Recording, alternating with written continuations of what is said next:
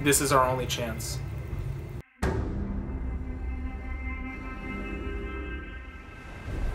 We have to take it.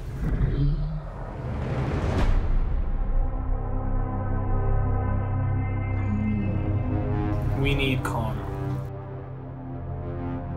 The world needs him to stop what's coming. And this child, she's the only one he'll communicate with. Knew that they had a bond. She had nowhere to go, so I made a promise to protect her. And I think in some way, Kong did the same.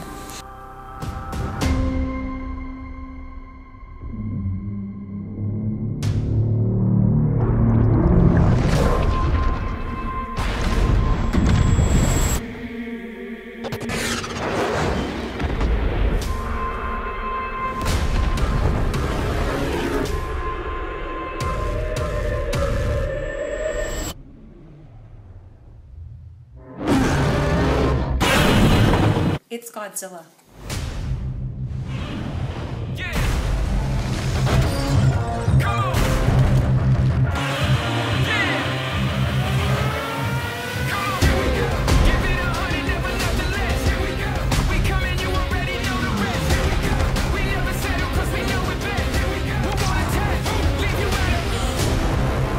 These are dangerous times.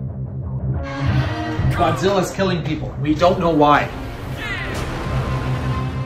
There's something provoking him that we're not seeing here. I'm of the same opinion. The myths are real. There was a war. And they're the last ones standing. I keep reaching for greatness because I'm built from it. Who bows to who? Nobody gon' stop me. Here we go. Kong bows to no one.